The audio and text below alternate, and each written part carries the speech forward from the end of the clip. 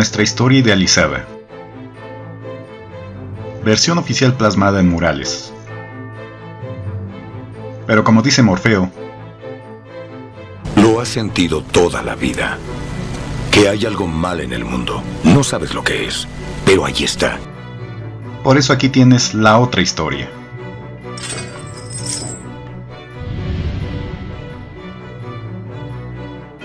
Dos grandes pretextos iniciaron la independencia y su culminación. Paradójicamente ninguno se gestó en América, sino en Europa. Antes de 1808 ya había muchos problemas en Nueva España y muchas reuniones clandestinas, varias de ellas organizadas por criollos que buscaban más beneficios para ellos. Y en ese año se dio el pretexto que buscaban los novohispanos para explotar. Napoleón invadió territorio español, tomando el trono y quitando al rey Carlos IV y a su hijo Fernando VII. Ante la toma francesa, una de esas juntas clandestinas encabezadas por Francisco Primo de Verdad y Ramos, hijo de españoles, nacido en Lagos de Moreno, Jalisco, junto con otros criollos, incluido el propio virrey Iturrigaray, acordaron desconocer la invasión napoleónica y tomar el control de Nueva España, reconociendo únicamente al rey español capturado por Napoleón.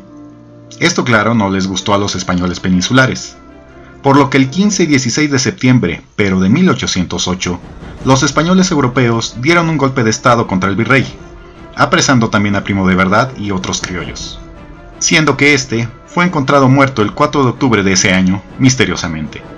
Después de eso, se dio la más famosa junta clandestina de todas, la organizada por el corregidor de Querétaro, su esposa, Allende, quienes invitaron a esta Hidalgo y otros personajes, conspiradores que en su mayoría tenían raíces españolas, empezando por el propio Hidalgo. Por principio de cuentas, Miguel Hidalgo era pariente de Agustín de Iturbide, teniendo en ellos al iniciador de la independencia y al que la culminó.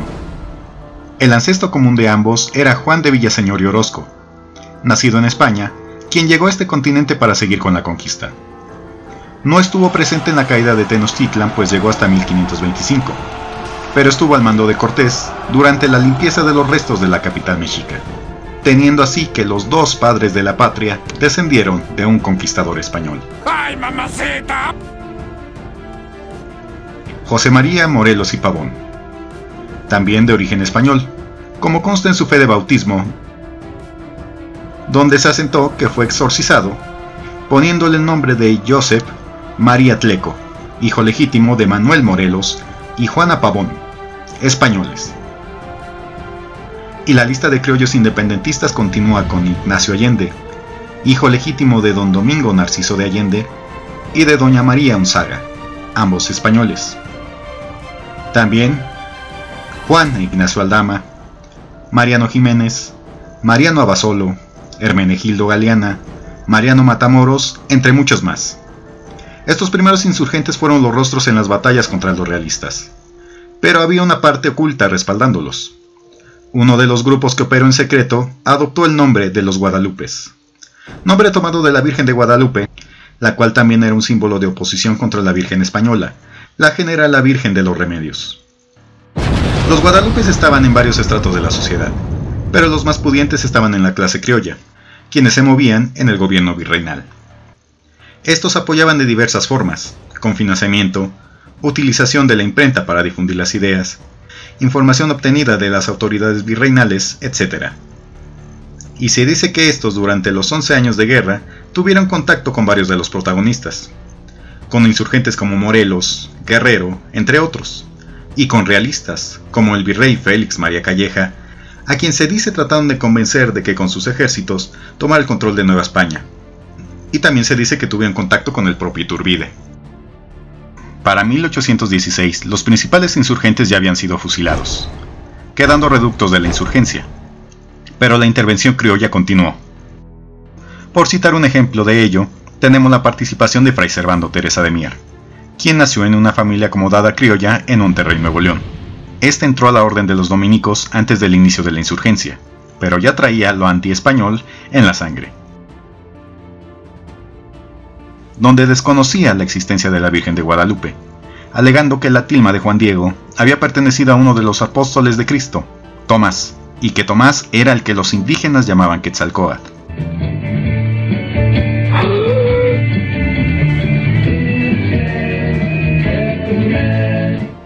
Por ese tipo de pensamientos fue expulsado a España y apresado varias veces. Sin embargo, logró llegar a Estados Unidos donde recibió financiamiento de logias extranjeras para desestabilizar el poder español en Nueva España.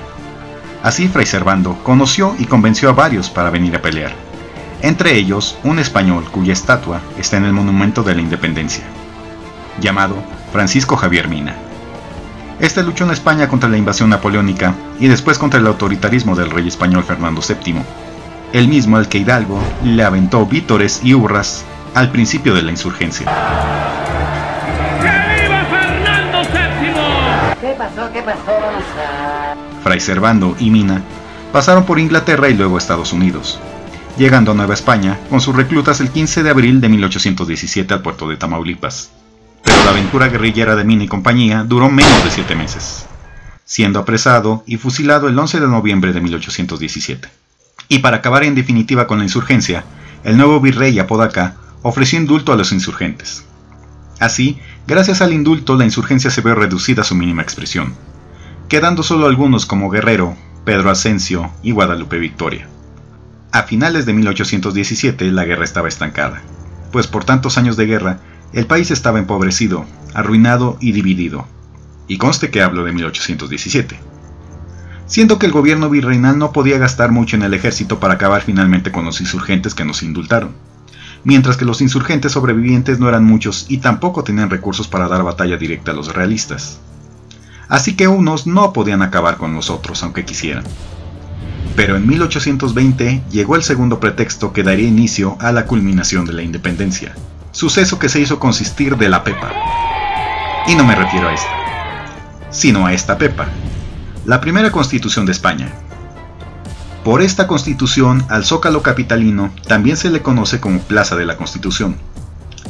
Otros nombres de esta constitución eran Constitución Política de la Monarquía Española, Constitución Española de 1812 o de Cádiz pero popularmente llamada la Pepa. Como ya referimos, Napoleón quitó del trono a Fernando VII y en ausencia del rey, los españoles crearon a la Pepa, la cual era de corte liberal, contraria a Fernando VII. Pero este al regresar al trono, la derogó en 1814. Sin embargo, fue obligado a obedecerla en 1820,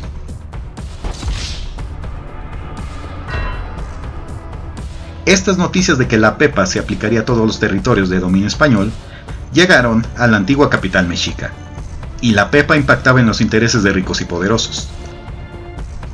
Por supuesto, los ricos y eclesiásticos amantes de los privilegios y del absolutismo en Nueva España dijeron, No, ni merga. Y así como hubo juntas clandestinas antes del grito de Dolores, ahora había reuniones secretas para evitar que la PEPA se aplicara en Nueva España. Estas reuniones tuvieron lugar en la iglesia de la Profesa, en la Ciudad de México. Algunos de los conspiradores fueron la famosa Güera Rodríguez, quien fue amante de Iturbide, el gran inquisidor Matías de Monteagudo, quien ayudó a desaparecer el primer intento de independencia de Primo de Verdad en 1808, el propio virrey de Nueva España, Apodaca. Todos ellos analizaron varias opciones para que no se aplicara la PEPA, pero la opción final se hizo consistir de que un criollo acabara la guerra de independencia y que encabezara la autonomía de Nueva España, no desconociendo al rey, pero sí a la Pepa. Por lo que fue invitado Iturbide para ejecutar el plan, y así lo hizo, aunque después cambió los planes originales a su conveniencia. Iturbide combatió y luego convenció a Guerrero, uno de los últimos insurgentes, para que se le uniera. Surgiendo luego el Plan de Iguala, que estableció obtener la independencia de Nueva España pero manteniendo la monarquía de Fernando VII o de alguno de sus familiares. Claro, llegó el día de la independencia y poco después comenzaron nuevamente las guerras internas, tal y como seguimos hasta el día de hoy. Pero durante todo el periodo independentista, desde antes de 1808 hasta 1821, manejando los hilos detrás del escenario independentista, vemos a la clase culta novohispana, encabezada por criollos y españoles. Y no como vemos en los murales, donde se nos cuenta que los insurgentes pelearon codo con codo, expulsando al final a los malvados españoles. Por eso, la parte de la frase que dice que la independencia la hicieron los españoles se apoya en todo lo antes narrado. Pues no fue una independencia que realmente hubiera sido emanada del pueblo, sino que surgió de la mente e impulso de sus personajes más ilustrados y poderosos, como sacerdotes, nobles, militares, hacendados, etc., fueran legítimos o no sus deseos de independencia.